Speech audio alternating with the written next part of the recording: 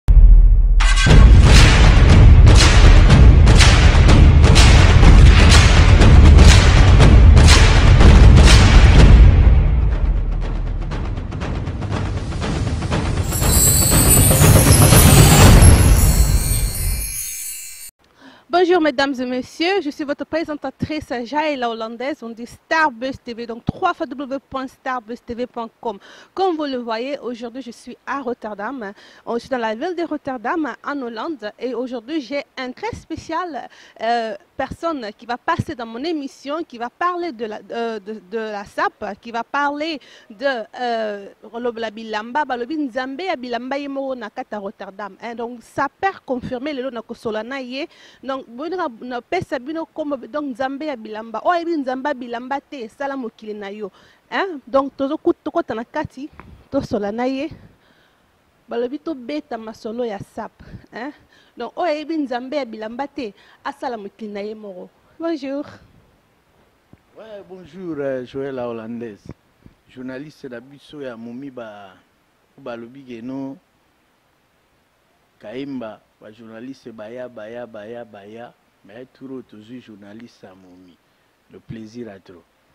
Donc, mesdames et messieurs, comme vous voyez, je suis avec Chesco Bila,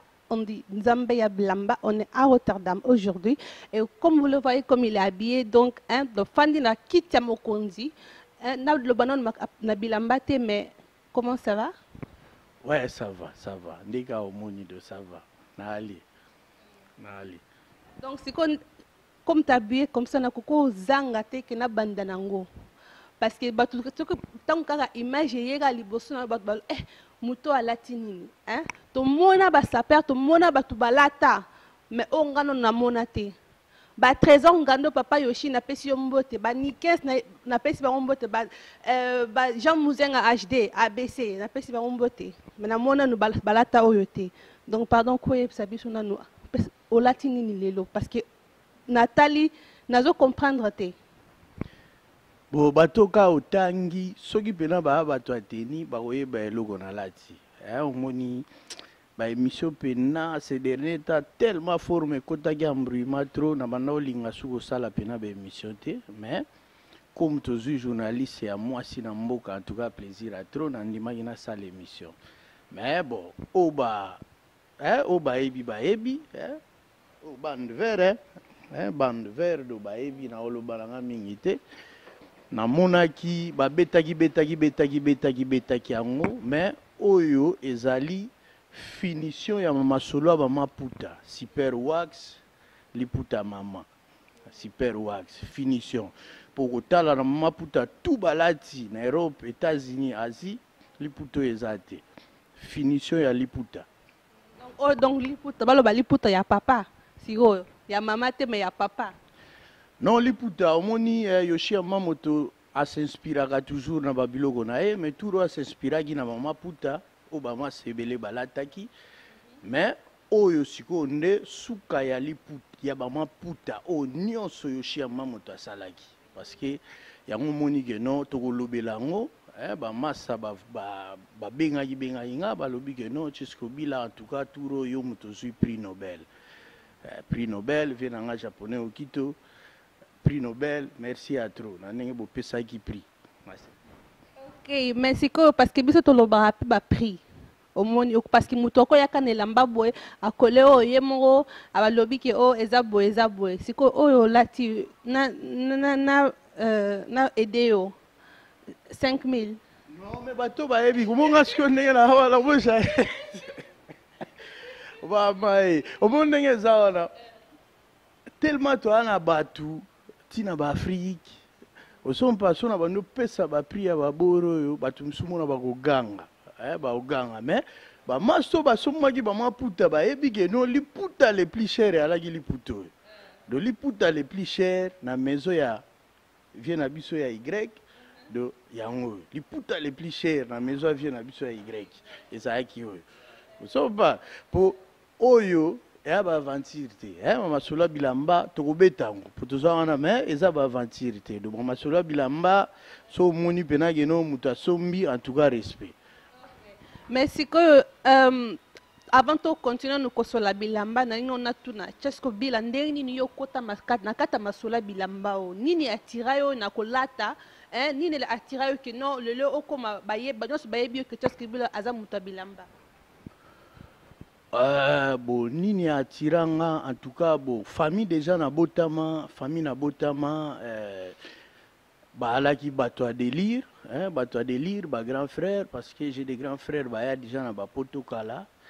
bala bato ya délire entre temps bo nga moko nafandaka nafanda parce que j'avais omoni na kala na kala na vie toalaka neti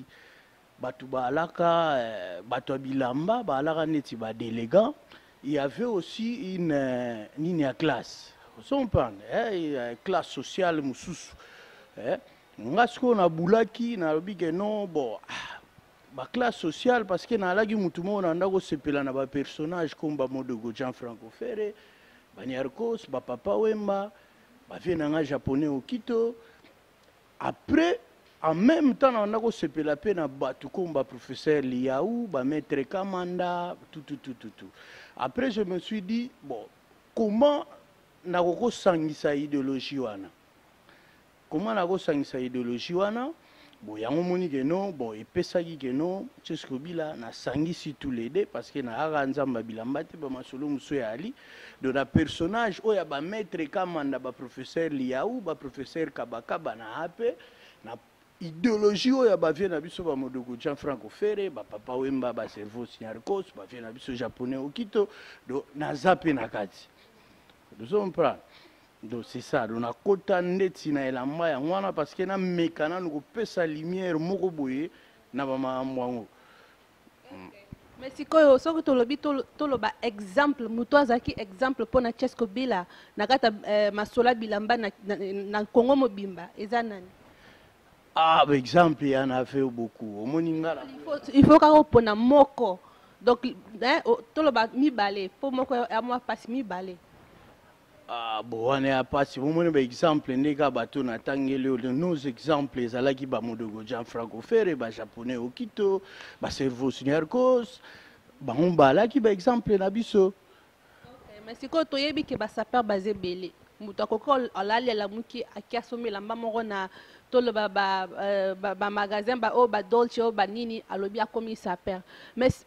est ce que kozala saper mama so nani aopesa yo titre ke non eza confirme ke yo oza saper neti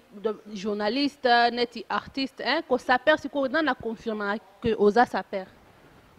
bon omoni question wana ya bien question wana ya bien parce que mambo ya elamba ekoti desordre ebele auparavant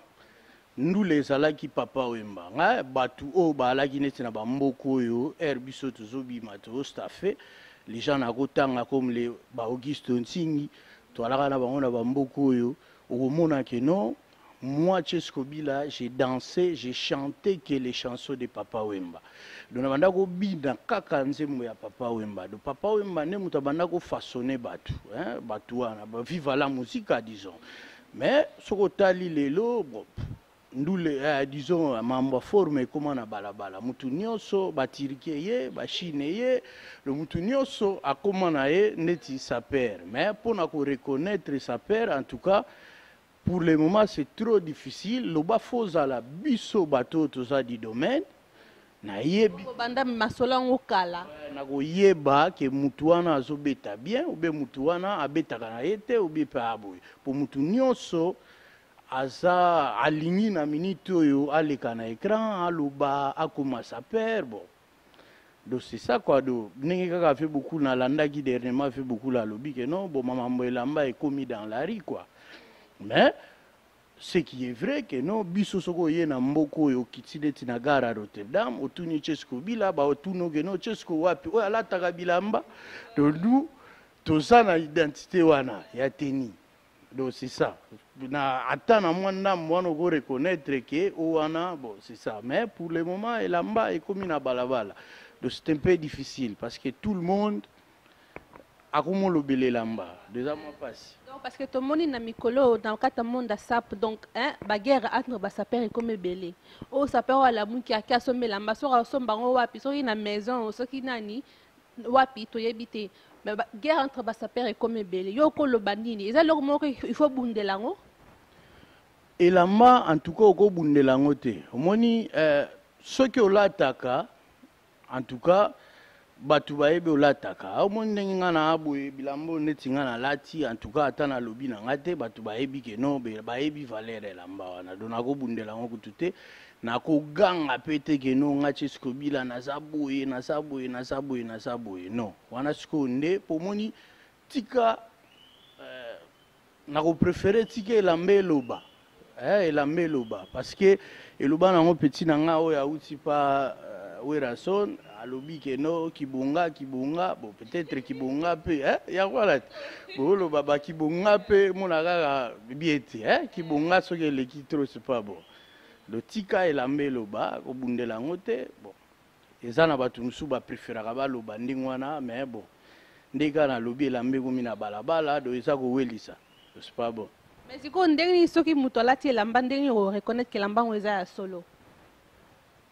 bon omoni neti kaka na opesa exemple neti bapieso eza bapie saliputa bapie saliputa ebimi bon tolati yango bon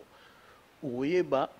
oyeba. Parce que na kato te omoni oyo ba euh, miko, na miko na biso oyo kosomba ngo. Osombi kaka tissu otongi ozwi oyo bambi.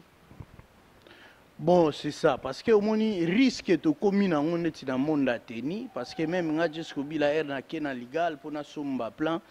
na ndako bokomona pena ke non o doute doute trop mpo babiloko ebele ekomi pena en tout cas keba masa moko boye akoleka na kwe batongeli ye mpe akezwa mpe banda mpo chinois mpe akoma kosala banda vert azwi mpe banda vert abambi mpa aye mpe do na nga oyo napeyaki ya bamotuya wana do omoni te ke no esali nga mwa mabe mpo mona masa wana mpe makelele eleki koleka nga mpo mona nga nalobaka na nga tro te me ye mona makelele eleki okopesa exemple ya moto asalaka boye no ebele na oloba te na okretie te bon le voit hein, on le voit parce que omoni biso na hollande hollande déjà neti na hollande disons bon Tellement na Hollande mobimba na na nga ka nga moko bon nga pe na lobaka na nga te donc ma mango ya te mais so tali na ba Belgique ba France tout ça au mona ba tu ba loba loba parce que kuna ba nombre belé euh, ba zo loba loba donc na otanga bango te po ba masala nga pe ba ebele kuna nde oyo botanga bango siko nga na aide yo liste ya 5 saper oyo bato oyo okontaka ke baza basaper ya solo eh? oyo oloba ke non bato wana baza peut-être na niveau na yo na ede yo na bakombo ah bon bana bango bazolata nde oboyi oloba nkombo ngai na ede yo tobanda eh, trésor ngando papa yoshi masalanga eh, donc ye aza sapere ya solo bon azolata aolata alataka na ye aolata totia ye na liste basape papa yoshi azolata eh, balobi ni 15 ah, bo nayoka akenda nini ti nayoka odire akenda makela soki wishi nayebi moto alatala bino elamba 10 000 euro yo ondima ye te Ah, bro wana nayebi te nayebi te 10 000 elamba nini wana ya 10 000 alata elamba 10 000 alata as- a- a- o- ozondima ye te bro nayebi te omoni émission to- tolobela kaka mingi ngai tolobela mingi ngai parce que obodi ah, bon nde kaka nalobi ke no elamba ekomi na balabala mais en tout cas bon na france yana bamasa baolata mpe bien baolata bien bao defendre teni tukoma belgique eh, tukoma na angleterre donc c'est ça quoi bao defendre teni uh, na continue kapangala ah, boye nayebi ye te ah, oyebi ye te jean muzenga acheté na bruxelles napesi yo mbote ah bon nayebi ye mpe te mpo nalanda nayebi ye te donc disciplinaire ya basaper ye moko amibenga disciplinaire ya basaper ye moto akorigaka bino Ah, bon wana nayebi te ya corrige nga nga na nga na ye na tokutana te na couloir na nga nanu tostafa mpe te nayebi mpe ndenge alataka te akodiscipline nga nde yena okay, didie nzongo didie nzongo euh, bro c'est ça bamasapa ari nani kaka nalobi bao défendre c'est bon azali ah, didie nzongo namoni oconfirme olobi azali ah, bon oyo na omema ba polemique pardon balobi saper eza saper eza france ya na baali bamasala ngai eh, ba martes basinda ba cyril kina en tout cas bambote ebele bazolata baodefendre ba baza ebele babrader bavi ngai ngamba paris en tout cas boza wana baolata ebele do c'est bon mais seulement elamba ekomi na balabala do c'est difficile mpona ko kotangaka banini mais oyo oh, baolata en tout cas coup de chapeau mesdames et messieurs nde bomoni toza na chess kobila tosola makambo ba bilamba eh, makambo ba forme na profite na ntango mpo napesa mbote na eric dombasi appel masque 10 31 10 balobi polo santa napesi yo mbote augusto singi bobosana te eh, douglas abanga na nigeria ale sikiti nabosana te donc tocontinue na Chesco Bila. Euh, do yango omoni ke no omoni euh, forme parce que forme ere ebandaka forme ere ebandaka mpo likambo na obetelo lelo meme okutani na vie na nga mfumu modogo oyo na osalue imperatore aobetelo yango te meme okutani na vie bokul papa wemba vie muse ke je sali soki azwi occasion otala émission aobetelo yango te ozo comprendre forme ezala ideologie ya miyibi ozo comprendre na sens nini non forme ezala ideologie ya miyibi parce que toalaka na poto awa yo ya mwana poto salaire minimum ya moto ya poto ozo comprendre ko jamais osomba bilamba oyo olati olongwe na portugal oke ti bakota basuede salaire minimum ya neti kaka bon ba 1300 1300 1400 soki noko moko boye abetaki mwa makasi mona azwi mwa 1500 sikoyo 1500 wana yo oyebisanga ke 1500 wana akokende apeye liputa oyo akokosomba te yango wana baloba sape ezalaka kop mpo fo afuta pale fo afuta mai fo afuta courant fo adame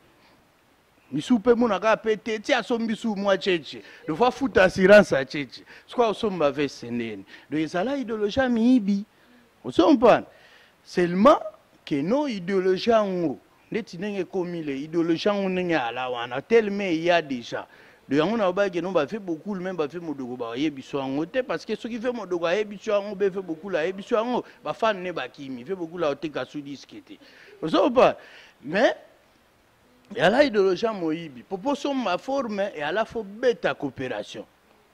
sikoyo biso ndenge toya wana tokotinda bapeti na coopération te osopa yango omoni keno tozopesa baexemple keno bapeti okomona mpe okobeta banchiki oke mpe kayu me ozobeta teni mpo nga na obeta teni en tout cas na mboko na kayemba meme motu oyo akoya keno alobi keno nabeta coopération nayebi te soki teni na oya aoya na teni oyo nayebi te mpo nakayemba wana akaka ngai moko do meme abetaka coopération teni aosomba yango te aa nango te mais ngai naa na nga nakeba ntiki naobetaka yo nasombi teni oyo do bapeti totinda nde bapeti na nzela wana do sesa maluka azadi napesi yo mbote chef ya schengen vision balobi ke basaper bazalaka miyibi Uh, tout dernièrement wana toyoki na paris oyo oh, saper atindi momi na ye akeyibele na kati ya magasin bakangi momi momi akoti prison donc makambo boye esalama na monde ya sap ya mikolo oyo donc est ce que motu moko na sap akoki ozala ke non ye akatisa makambo wana ah, donc asilisa makambo wana nyonso okopona motu moko boye en tant que président atia barègle na kati ya monde ya sap ekosalama te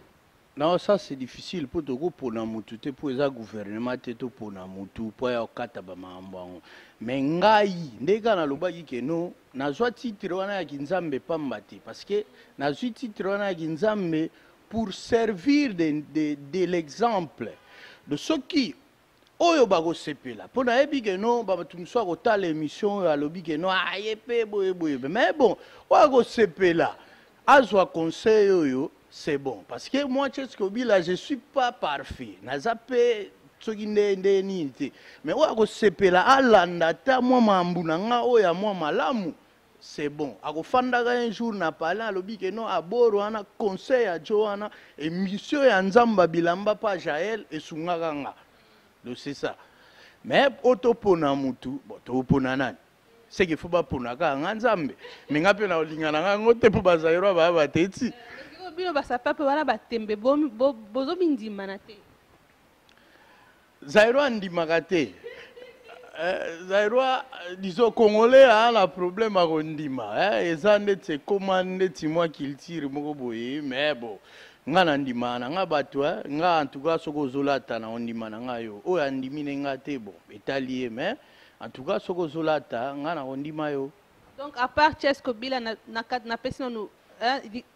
Dicap la merveille Fally Ipupa na pesi yo mbote donc à part Chesco Bila oyo ozo représenter toloba Notre Dame donc Hollande mobimba en tant que sa père mutu mosusu aza te vraiment Kayemba eza grand monde moni Kayemba eza grand monde na ndenge ya Europe na ndenge bango mo ba mindele omona pe ke Hollande a contribuaka mingi na Union européenne mais na ndenge pe ya ba masolo nde kaka nayebi soki ebe ma masolo ya ba forme esalema na ideologie ya ba miyibi donc na ndenga ma masolo en tout cas kayemba pe a grand monde mais kobeta masolo o oh, okoperaka o oh, osalaka boye elakisi te ke no oza moto ya forme non ozo comprendre po bato mosusu bakomona geno ah, cheskobila alobi boye alobi boye alobi boye mais en tout cas idéologie ya forme ndeti na mboka oyo na nga moko depuis na ya nango ti lelo nakumbelaka yango mpo bato mosusu balobaka mpe keno ye akokenda kosuka wapi me ti nakumbeli yango ti lelo na ali idéologie ya forme depuis rotterdam ebanda en tout cas bon nga na namona na nga te do naa kaka nga moko naokumbela yango do ti totala mpe kaka ndenge kote nini tokosukela eh, sikoyo donc nali nakoma nano na etape mosusu natelema nanu mpo omoni ndenge olati ndenge ofandi tozomona bien te nalingi nanu otelema mpo to eh, cameraman azwa nanu donc likolo ti na se eh? donc balobi bino bolataka o bino bayoshi ye o banini ye collection oyo nano namoni yango epa mutu te boland bozwa ye bien na, na seti na makolo hein? donc oyo nanu emonani te balobi bo soki bondimi te bapri mpe eza awa hein? donc yoshi mobimba pardon tala nanu hein? sikoyo kotourne mpe mwa moke donc cameraman eba, likolo ntina seka sikoyo oyo eza collection ya, ya ete euh, oyo eza ete euh, 2015 hein, parce que hiver euh, disons hiver euh, 2014 2015 tozwaki batete de mort bato bamonaki tolataki batete de mort sikoyo nde nalati liputa nde collection ya ete eh, mpo ya mobimba mpo ya mobimba ndenge ya boya na chapeau na yango mpo chapeau oyo sans oublier eh, baobe nzungu nzungu ya ma famille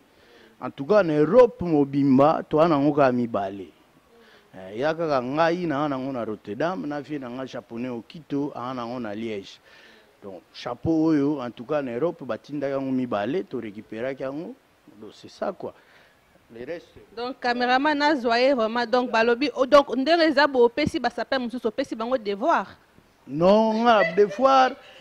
mo mambo ya devoir angela hollandaise ngai nazoloba so yo olobi yango olobi opesi bango devoir te ngai naoloba kopesi bango devoir parce que collection ndenge oyo obeti ya nanu tomoni yango te tomoni yango na sapeur moko nanu te collection ete tobima ya yoshi yo moto olati yango donc opesi bango devoir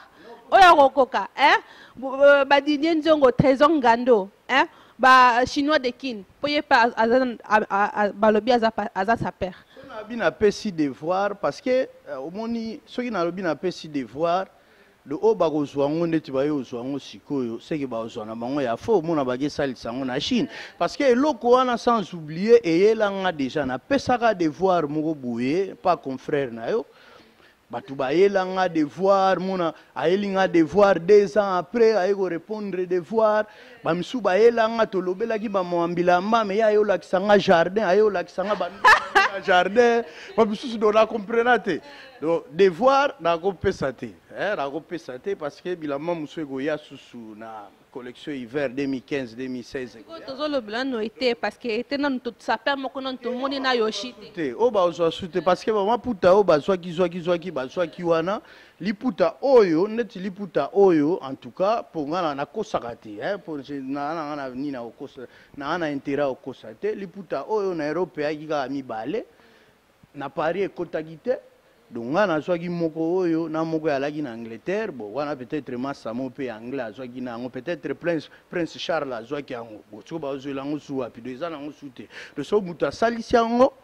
seke eza ya ngwanzu mpo nzungu oyo mpo nzungu oyo ndenge ndeti nzungu ndenge ya boye nakopesa na ngai mpe devoir te mpo nayebi ke no ngai kaka na vie na ngai japonais okito toya na yango do soki eye seke Ya bato ya miso ya mike. boyoki ndenge alobi banzungu oyo bokozwa yango te soki boye nango ça veut dire ke bosala yango epa bachinois eh? donc tofanda tozo olobi olobeli rumba mais sikoyo roi ya rumba à ton avis eza nani ah, roi ya rumba kasi ezala bagrand kale te fo ezala bagrand kale na bafi te ke ezalanga na oloba na moma oyo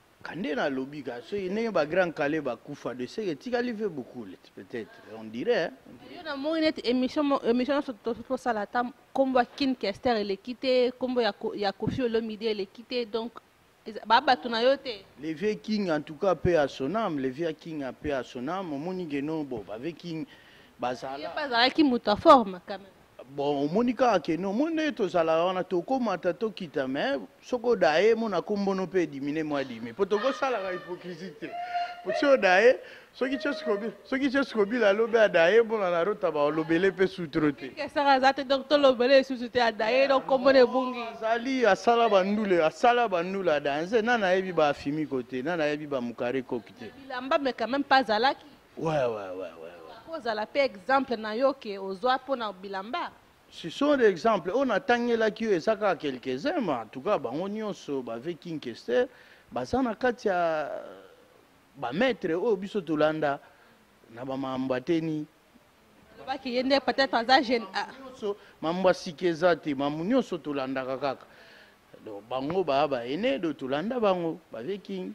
Merci ko première dame de Lausanne apesi yo mbote esika ozali hein? balobi José de Londres nabosana te donc Fergo Fergani la merveille napesi yo mbote Christelle Blanchot et Jules ya Luxembourg napesi bino mbote donc hein, tokomi na suka émission avant tochute euh, Chesco Bila wana mot de la fin solinga tobakisa susu eloko moko na elamba oyo parce que on, on peut jamais ent, euh, entendre suffisant mpona bilamba oyo olati donc Un mot de la fin, bato lingo pesa bango ba, ba mbote. Mot de la fin kutu na obakisa na nga mpo na elamba te parce que elamba ya nango mutu nyonso akosomba elamba eh, mais mot nde ezali mingi oyo ya motuya ezali ke non bon bapeti oyo bakotala génération bakotala mpo bamikolo déjà bon bamikolo bango déjà bo tokokontaka bango eza deja neti mwa nzete moko etengami mpo nabongisa yango so ya mwa mpasi mais bapeti oyo bazolanda bango nde peut-etre bako se servir na exemple na ba makambo oyo ya bien ya Chesco Kobila po soki bayebisi bino ke Chesco Kobila Jael atuni yango te ke Chesco Kobila a ingénieur en chimie chimie technologie bon peut-être ba ondima te pona memi na nga diplôme te mais ana ngo ndenge wana ça ça n'arrange que moi donc balanda quand même oyo ya mwa bien ekosala bango mpe ekoservir bango mpo ndenge nalobaki kaka ke forme ya la ideologie ya miyibi bokimoyibi mpe na poto yo esila na yango boyiba wapi ti bokoma koyiba na ba supermarché mpo bosomba teni ozoba bolanda nzela bien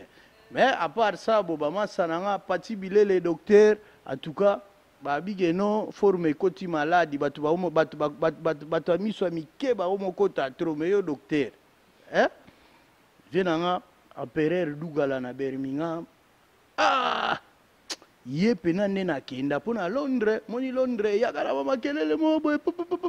me ti lelo londres bakweya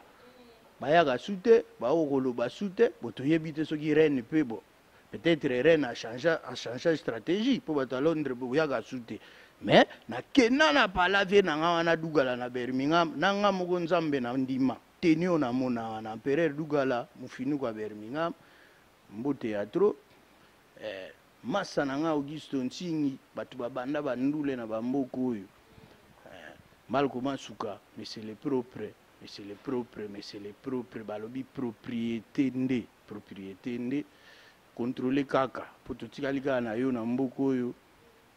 eh, Berthe Domi représentant ya Japon mon parrain eh, Florent Pambani eh, Alino Sende Martes Masinda en tout cas bambota tro boza ebele so na bino bando tangatanga na bando tangatanga anse kalala landri dembela boza ebele eh? bambote kaka nakomi na question suka mpo tolobi maeshe noyo tokoleka kala mingi te oyo tobala wana tokoloba na kati ya mission no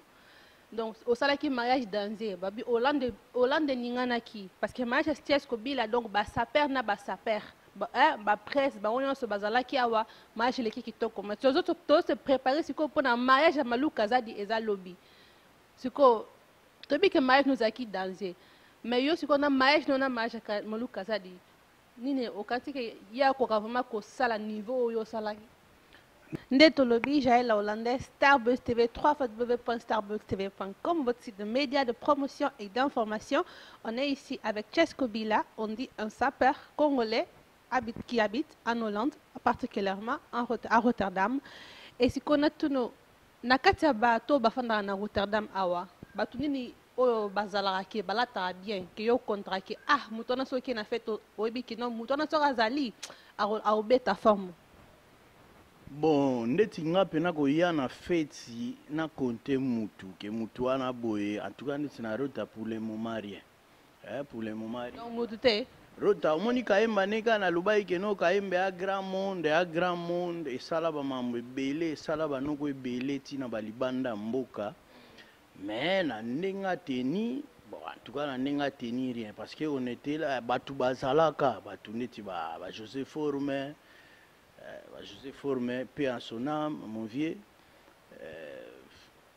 bon bato baalaka namoni na tokangami eh, balobi napesa kombo bato nde omoni na kayemba na kayemba bato baza mingi propre baza nde mingi propre mais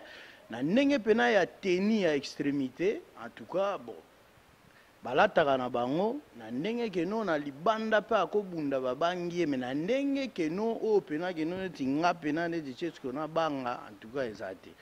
so comprendre alo keno nakotanga mpo bato mpe baali mpe eh, yango moko moko baali eh, neti bamalkoma suka mais c'est le propre Eh, le propre monsieur le propre do mona bena gino do ye pena bo ye nde na koloba po ye soki abeti teni en tout cas meme nga moko chez kobila fo na valide masuku malko masuka monsieur le propre tozalaka na bato neti ba berte domi représentant ya japon na mboko moto ayela biso bandeke batigre do oyo na nga moko nzambe na ndimaka mais malheureusement abima na ye akoma kobeta na lola bo c'est bon Mais bon, le reste, en tout cas, penza penza te. Hein? Papicho, combien ça te dit rien Papicho, nayebi te, nayebi te. Hein? Ah, oh, babi ba Charles Mulumule, combien on le epsilon te oh, Charles Mulumule béton, on a vu nanga. On a vu nanga, Charles Mulumule béton. Olobi ba combo, mais nayoki combo n'était No yo nde moto ozotia ye na mamba bilamba ye ayebi ye alobi ke aza saper charles aza saper te abetaka baforme aza musicien ave na nga leader ya mboka oyo musicien aza saper te ata kozala saper te ngai natuni yo bato omoni ke babetaka mpe baforme ya bien na hollande te wana yo otya nga na polemique mais ye ave na nga charles mulmbule beton butu monene na kati ya mboka oyo osesa ok parce que na star bus tv tolingaka mpe toloba actualité tokotana na actualité oyo ezoleka na mikolo oyo na monde na biso ya musique na congo donc yo euh, nzambe ya bilamba balobi chesco billa artiste nini musicien oyo omoni na en ce moment oyo vraiment akangi masolo nyonso eh, kokanga masolo po parce que ndule nde ekana alobaki ngai na nda olanda mingi mingi ndula papa wemba Bon vieux Bokul na vieux Bokul yango mpe koma omolanda na ye ba Fally bon ndula yango tolandaka landaka yango mpena mpe su mpena te hein donc mpo nayeba mpena soki euh, nani azokanga en tout cas pour nalandi landi mpena bamambo na bango mpena te nalandi yango mpena te mais yo sikoyo mpo na yo moko donc musicien nini aza vraiment na motema na yo ke aza numero 1 na congo